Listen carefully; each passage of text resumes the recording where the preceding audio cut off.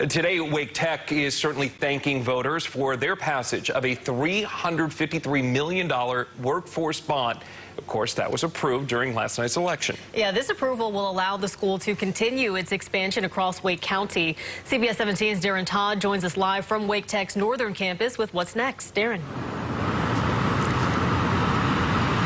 Hey, good afternoon, Bill and Liz. Guys, the green light is here and Wake Tech is ready to go. I had saw some staff members standing right here behind me waving flags and cars passing by honking their horns as well in support of this bun actually passing. Now, this is something that we've been talking about since September, since they made the announcement of this of, of this bond proposal and why they need these funds to be approved. Now, this approval will allow Wake Tech to really focus on the expansion of their healthcare program and their Perry Health Science campus. Wake Tech Tech's president says the growth happening across the county is driving the need for expansion. However, he understands it's something not everyone voted for but we know not everybody voted for it.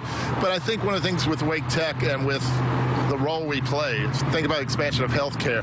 When you go to one of our three hospitals, when you go to any other kind of medical facility, you are going to bump into someone who's going to be caring for you, who was educated and trained through Wake Tech.